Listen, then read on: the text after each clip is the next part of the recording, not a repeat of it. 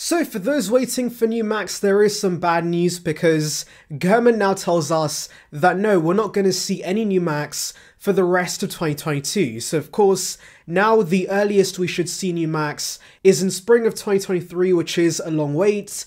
And yeah, let's delve into this bad news. So it's actually a Korean source who was the first to spill the beans regarding this. They said the 14-inch and the 16-inch MacBook Pro would be delayed and would be pushed back till spring 2023, which of course went against Gurman's initial reports regarding a November release for these Macs. Now this actually did make sense because Tim Cook himself did tell us during the earnings call that Apple was pretty much set in terms of their product lineups ahead of the holidays, so that does suggest Apple doesn't plan to release any products. Also, CFO Luca Maestri said Mac revenue in Q4 is going to decline substantially, which of course would not be the case if we did see new Macs. Because while these are chip refreshes, there is still going to be hype for this product, and it would ultimately give Apple spike in sales. And yeah, Gurman shortly after clarified that yes, he was wrong in his initial reports, we're not getting any new Macs in 2022. Now this does suck because while the new Macs were going to be chip refreshes,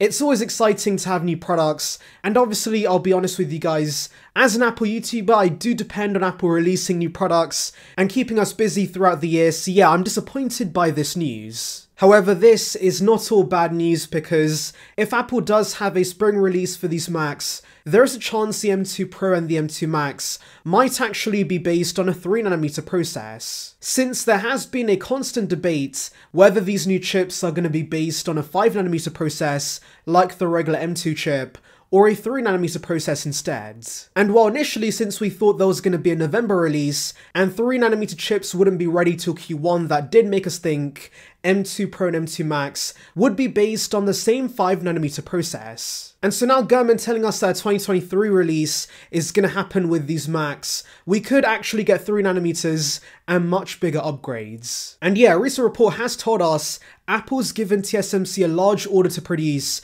M2 Pro and M2 Max on the 3nm process. And so yeah, the delayed release could result in much bigger upgrades with these new Macs. So yeah, I guess there is a pro to Apple delaying the release and waiting for 3nm chips, since ultimately these won't be getting design changes, and so these chip upgrades have to be major enough for most to justify getting this over the M1 models, which will get discounts. Now Gurman also believes the Mac Pro should release alongside the MacBook Pro and Mac Mini in the first half of March, with the release of Ventura 13.3. And so yes, Apple is going to miss the two year timeframe they promised, but I think the upgrades are going to be worth it, especially if these chips are based on a 3nm process. Anyways, let's delve into your comments regarding future Macs. So Tom and Tech hopes M2 Pro, Max and Ultra are 3nm since M2 was a lackluster refresh and they want bigger upgrades. And yes, I'm also hoping for the same because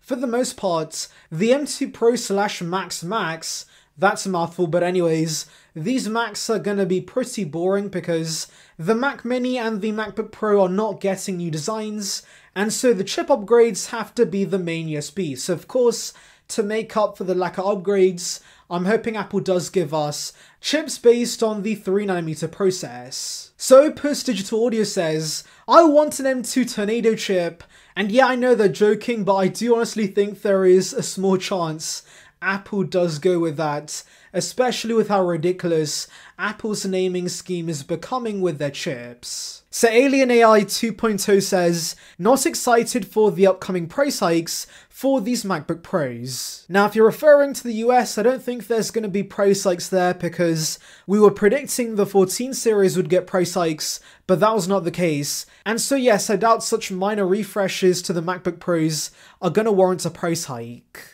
However, if you're referring to the rest of the world, then yes, we could see price hikes. We saw major price hikes with the 14 series, and so I'm pretty anxious about the pricing for these Macs, and if it's really outrageous, I think you're better off getting the 2021 models. So JD's wondering about the fan noise with the M2 and M2 Pro Mac Mini, and I do believe that for most use cases, there might be slightly more fan noise because the M2 does seem to be running hotter than the M1 chip due to the high TDP, so I do think it's fair to say we can expect the same with the M2 Pro chip. But do remember, this is still going to be a lot quieter than the Intel machines. And also, of course, for those getting the M2 models, I'm sure that for light use, there will still basically be no fan noise. It's just that for more intensive work, where the increased GPU cores could come into play, that could increase the fan noise. So Apple Sheep 125 says, they do not believe the jack is going with the Mac Mini and I agree with this completely because